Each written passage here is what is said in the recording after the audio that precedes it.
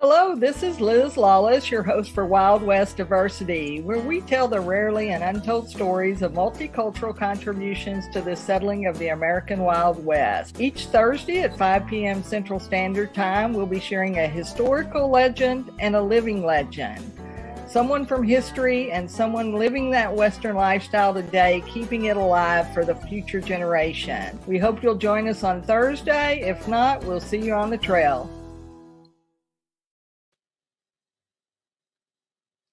Hello, this is your host, Liz Lawless for Wild West Diversity. Well, uh, live streaming is always fun, and sometimes we have some technical issues. So, uh, Mr. Allen won't be with us today, but we'll try to have him on again next week. But as the last day of Women's History Month, we wanted to continue to share some stories about women. Uh, we've mentioned them a little bit, but we want to tell you a little bit more of a longer story. Um, you can go back to uh, the previous episodes and find out about Johanna July. You can go back and find out about Aunt Ritty Foster, Henrietta Foster Williams. You can go back and find out about uh, Cathay Williams, which is who we're going to be talking about today. Um, and so all of these uh, women are women of the Wild West. They uh, made contributions in their communities, but most of the time we haven't heard too much about them. So uh, we were talking today about Buffalo Soldiers, and we'll kind of continue to do that off and on between now and the end of July because July is Texas Buffalo Soldier Month. And so we have a lot of celebrations down here because there are forts across Texas. Um, after the Civil War, people came into Galveston Island and they um, uh, set up uh, African American soldiers for the very first time. Um, not that soldiers that African Americans didn't serve in the American and the Civil War, they certainly did, and the French Wars and the Indian Wars. But this was specifically with the Indian Wars moving west uh, of the Mississippi after the Civil War. So in 1866, uh, they commissioned um, four different units, infantry units, and two cavalry units um, that later became known as the Buffalo Soldiers. They were black troops um, that were known um, later on once they were out on the plains. The Indians saw them, and that's where their name came from um, because Native Americans saw these soldiers with black faces, with black curly hair that fought fiercely. And it reminded them of the buffalo, and they thought the buffalo had uh, maybe come to life and or come back to life uh, and we're writing them. So, um, so that's what we're going to talk a little bit about today, and we're going to specifically talk about um, Cathay Williams, who um, joined up and pretended to be a man and joined the army. So. Uh, we've got some slides we're going to walk through, so you're going to see some of that history, and I'm going to tell you a little bit about that today.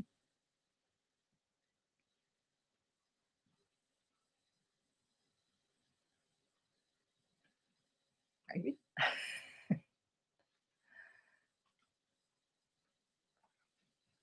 And then over the next few weeks, we'll be talking about uh, sort of Flipper, uh, Henry Flipper, and uh, Isaiah Mays and Benjamin Brown. These were all Buffalo soldiers who won the Medal of Honor uh, on the field of battle. And so we'll be sharing that information with you. You can find this information in written form at www.wildwestdiversity.com. That's our um, e newsletter. Um, the live streams that we're doing each week on Thursday will also archive to our YouTube channel. So you can always go back there and uh, watch the show, or you can find us on the podcast. We're actually uh, on multiple podcasts. We pull the audio down from each show, and then that is played also. So that is available for somebody who um, likes the audio, as who who is an audio learner. So, um, but Cathay Williams is who we're going to share about today. So Cathay grew up. She was actually born in um, Independence, Missouri, in 1842 her father was a free man, but her mother was a slave. So as a child, she worked in the house in the fields there for a um, wealthy farmer. And then the Civil War happened, and the, the Union soldiers came across and captured not only Cathay, but um, some other uh, slaves and some other people, and they took them to Little Rock, Arkansas, which was one of the uh, bases there. And so she was a cook and a, a laundress for uh, the general there, a general named Sheridan. And so that was um, her life. So she was around the military during the Civil War, during those three or four years when the Civil War was going on. Everybody thought that war was going to be over quickly. The North thought they were going to win, the South thought they were going to win, and it actually drug off longer than they thought. But after the Civil War, they commissioned black troops for the first time. And they had four troops. They were um, cavalry, they had two cavalry troops and four infantry troops that went out and basically served during those years, uh, about 10 years during the Indian Wars, as people were moving across the West. And so, obviously, cavalry units uh, went ahead. They helped uh, settlers. They protected wagon trains. They fought off bandits. They they fought off Indian because there were Indian raids, obviously, and there were uh, bandit raids on all of these people that were traveling to toward California. So this was the southern route. So people came into Galveston, they came across Texas. Texas had multiple forts across the state and then into New Mexico. And, and Cathay was actually stationed in New Mexico once she signed up. But she saw all her cousins signing up for the army. Um, after the war, there weren't a lot of jobs, and there certainly weren't jobs available for African American women. You still could work in the house or you could work in the field. And Cathay decided she wanted to be more independent than that. She didn't want to have to depend on her family, a husband, somebody else uh, to take care of her. She knew she could walk as far as her cousins could walk, shoot as well as they could shoot, ride as well as they could ride. And so she went to sign up. But before 1948, it was illegal for women to join the military. So she went and signed up as William Cathay because she knew that when they called Private Cathay, she would hear her name and she would be able to answer and she would respond. And so she served for two years um, before they found out she was a woman. And she served in the infantry because she was five nine. And uh, we have these records. The reason we know this is because the military is great about documenting things. And so um, the records for William Cathay are there. Um, and he was, you know, his height and his weight and all of that and where he was from were all uh, in the documents. And so, so Cathay served, and the only one that knew um, about her were her cousins and maybe a friend. Um, but of course, as the years went on, she actually served two years. There began to be rumors. There began to be some speculation and people started to ask questions and her cousins thought they would get in trouble and so they begged her to go ahead and try to muster out on a disability because um, she did have some feet issues some issues with her feet and her health a little bit because it, it was a hard life. It was not an easy life. You can see here uh, the tents that, that they had a tent they, they it was like this. A lot of times they didn't have tents. They just slept out on the ground they put a blanket down on the ground and they slept around campfires and things like that.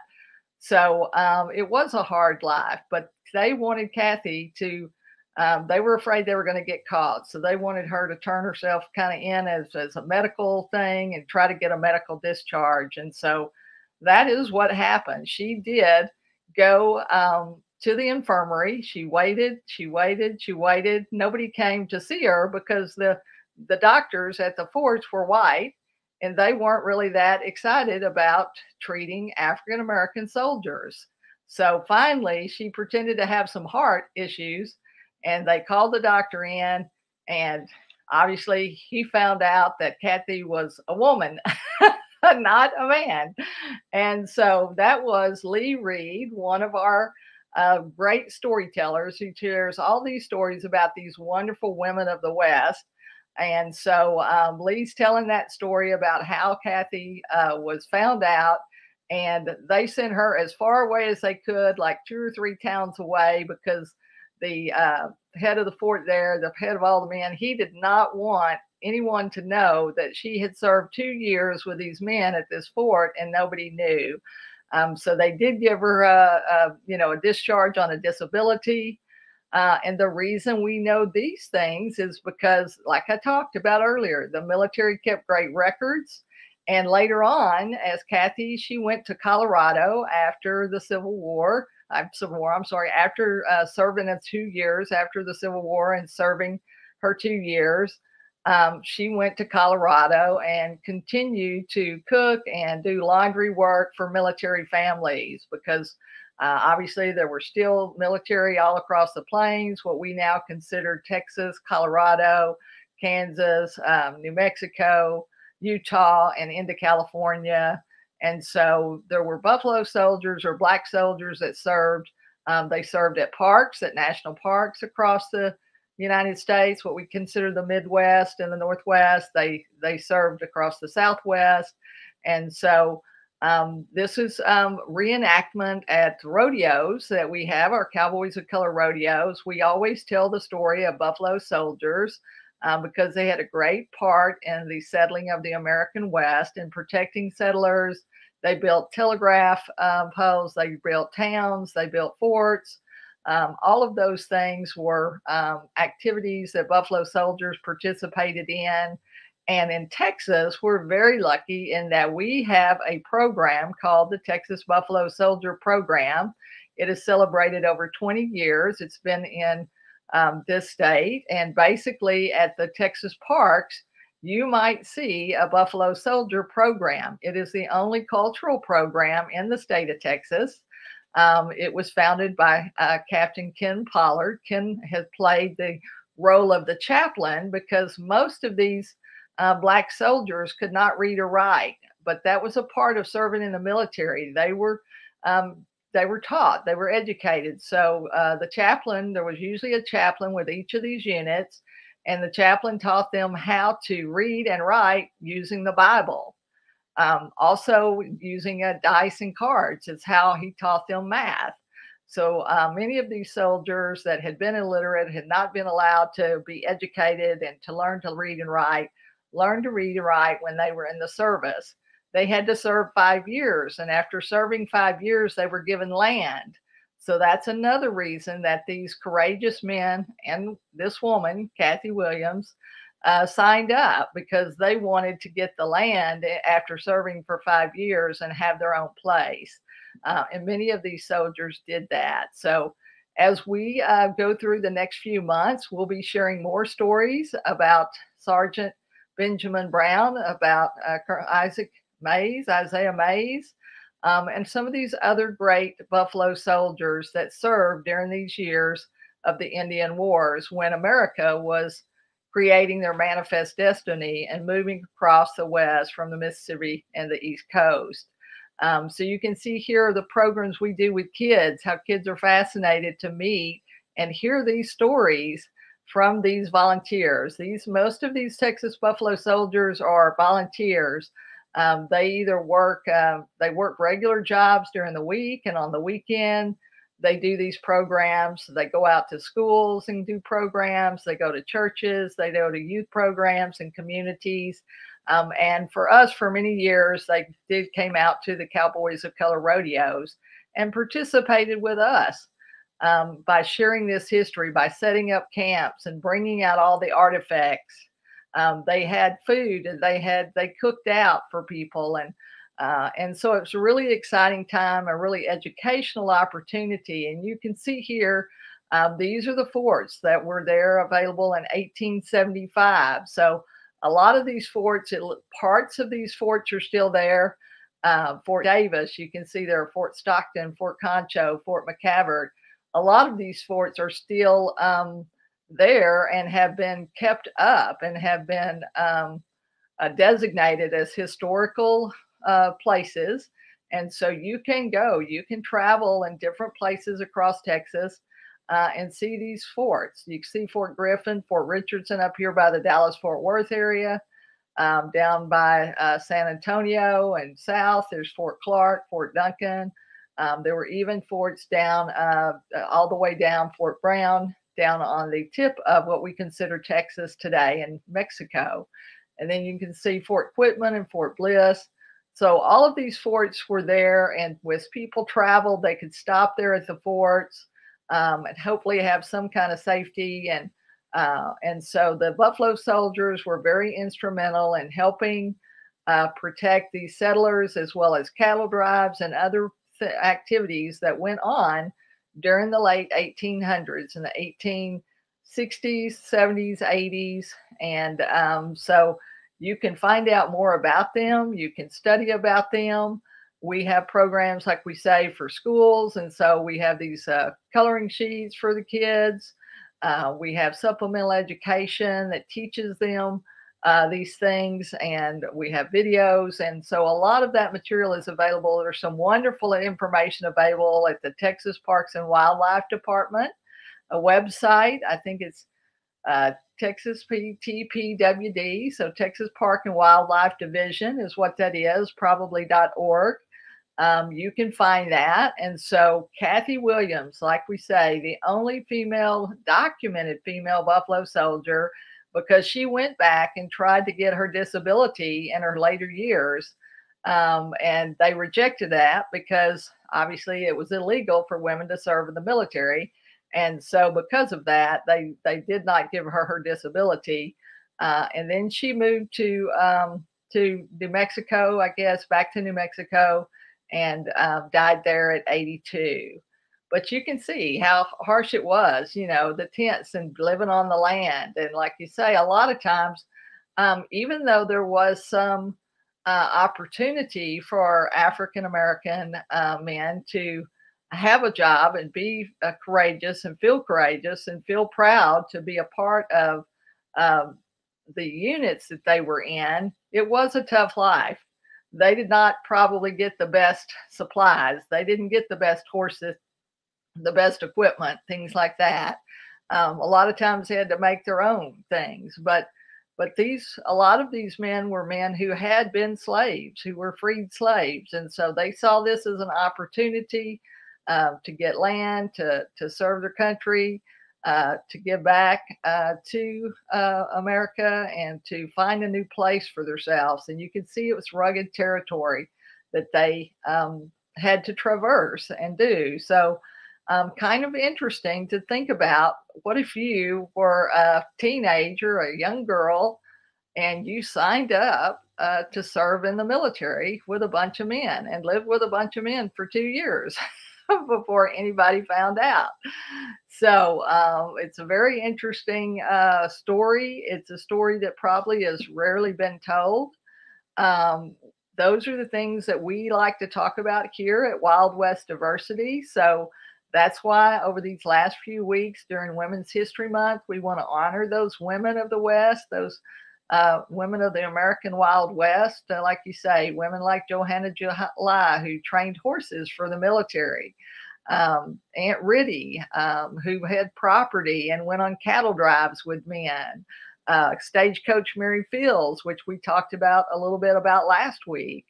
Um, she was the first one to deliver the mail, and so uh, in a, in the Western Territories, what now we consider um, Cascade, Montana, and so all of these stories you can hear more, you can read more about at wildwestdiversity.com. That's our weekly e newsletter that's available. You do have to sign up, but um, you just sign in and uh, you'll get those newsletters uh, in your email box. And so you'll get these fabulous stories. We'll also be sharing our living legends there. So these are our historical legends. These are the men and women that lived in the 17, 1800s that we've often talked about here.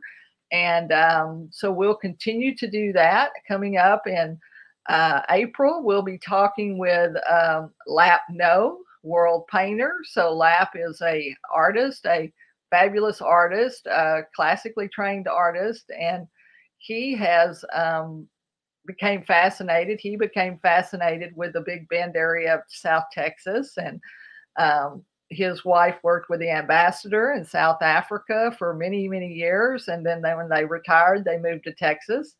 Um, and he went down and he saw these cowboys and these cattle, and then he got involved with in seeing rodeos, and so he started painting those images. So I think you'll be very excited to see that. So we'll be talking with Laugh. We'll be talking to um, some other uh, rodeo cowboys. We'll be talking again with uh, Sam Allen, our Buffalo soldier, because there was a Sergeant Sam Allen who was a Buffalo soldier. And so Sam, for all these years, has volunteered and um, along with his law enforcement career, um, he has participated as a Buffalo soldier doing what we call living history demonstrations um, at schools, at parks, at um, churches, anywhere someone wants us to come and speak, we're available to come and speak. So if you have a group that you would like us to speak to, certainly put that in the chat or put that in our Facebook or LinkedIn or uh, any of our pages there, our YouTube channel. You can always comment. Uh, we check those and we try to respond as best we can to any of those comments that you might have. And so, if you will, um, be sure to do that. So, we'll be talking about um, some of these other characters. Um, some of, like you say, our Buffalo soldiers, especially um, Emanuel Stance, uh, Henry O. Flipper, Isaiah Mays, Benjamin Brown. We had a wonderful gentleman named Wendell Prince, who we'll be telling about, who um, passed away just recently, uh, right before Christmas who played Sergeant Benjamin Brown for us. And um, him and Isaiah Mays, so they were on uh, helping a, uh, I guess they were transporting a gold uh, wagon, the payroll wagon, which back then people were paid in gold because uh, we didn't, they didn't have dollar bills. And so um, they were attacked uh, by bandits. And um, so they were shot three or four times, and uh, Mr. Sergeant Brown he crawled to uh, a mile or so to a house to get help, but was shot up, and so him along with a number of other um, Buffalo soldiers won medals of honor uh, for their valor in trying to protect this uh, gold uh, wagon of uh, gold that they were bringing in to pay all the soldiers and at the fort there, and so anyway, these are the exciting stories that happened because it, it was, um, you know, these people traveled into an unknown territory. They traveled to a place they'd never been before. They didn't know what it was going to be like. And, and sometimes it was hostile, and sometimes it was the environment that ho- was hostile. Sometimes it was Native Americans that were hostile, or people, or bandits that were hostile so there were all these challenges and struggles, but these are people that persevered. They um, stayed the course. They accepted these obstacles and challenges, and they continued on and they created great lives for themselves and lives for their families. So, in my mind, they're really great role models for us today. So, when we think about a time and we're struggling or something, maybe we ought to think about some of our ancestors, to think about what they went through. Uh, they didn't have running water, they didn't have paved streets, they didn't have cars. They were walking, or they were on mules, or they were on a horse if they were lucky.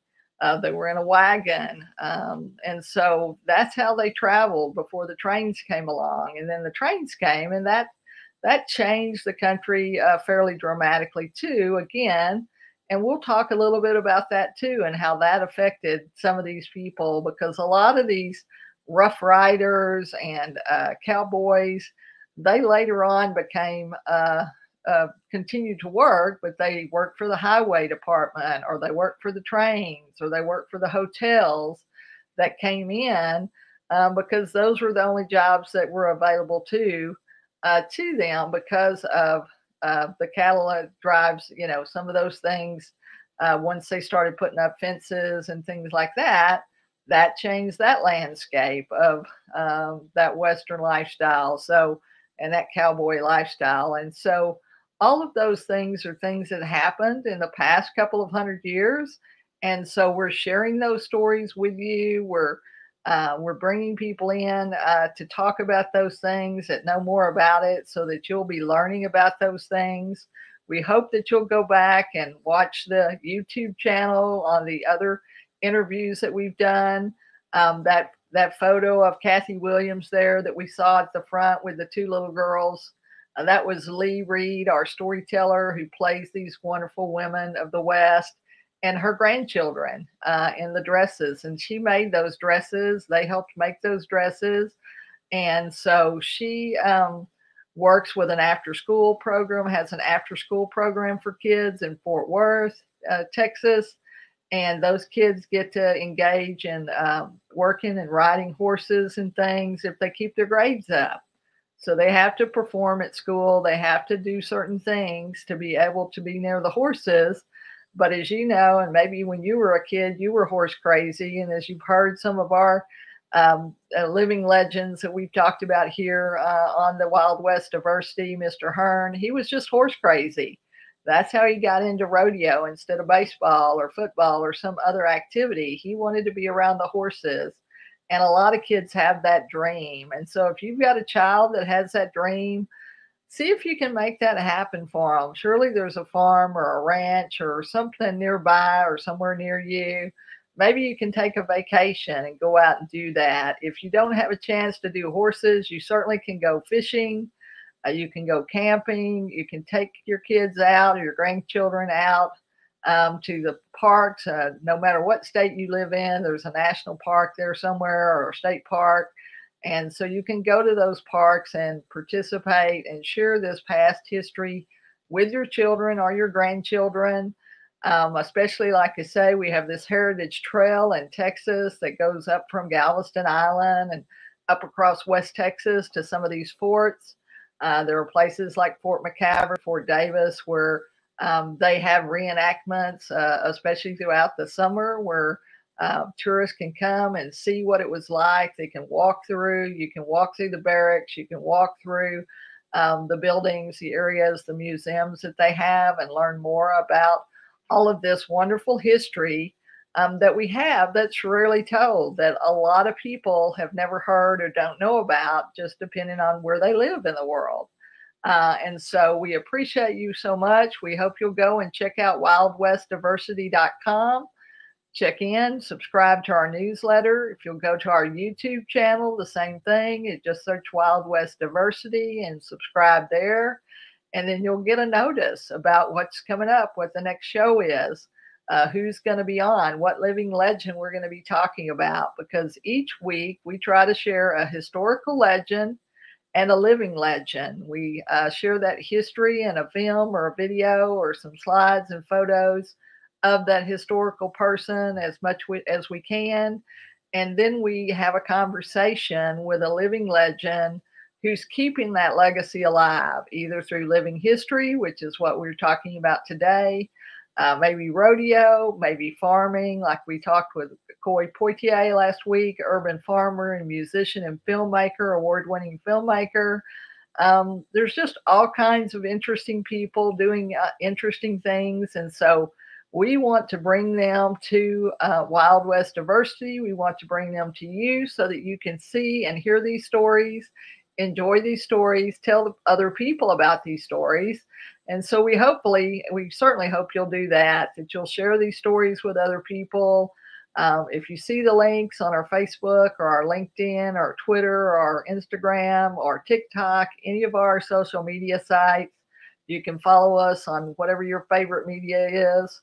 And um, we'll have information there. We also obviously post each uh, week we're here Thursday, 5 to 5.30, um, telling an interesting story, uh, hopefully a story that you've never heard before. And that's why we say we talk about the rarely and untold stories of the American Wild West, the multicultural contribution. So we'll be sharing more Native American stories. We'll be sharing more Hispanic stories.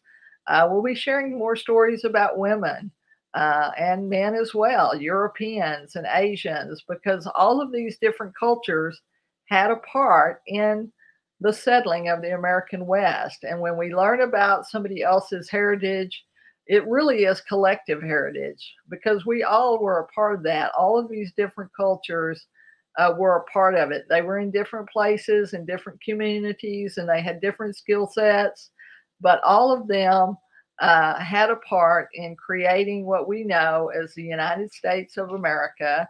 And so it is a great country, and we have this great legacy, and we have this great Western legacy that was not always told correctly.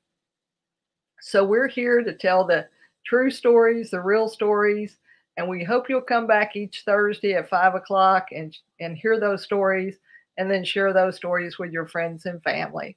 Thanks so much for watching, and we'll be back next week. Hello, this is Liz Lawless, your host for Wild West Diversity, where we tell the rarely and untold stories of multicultural contributions to the settling of the American Wild West. Each Thursday at 5 p.m. Central Standard Time, we'll be sharing a historical legend and a living legend.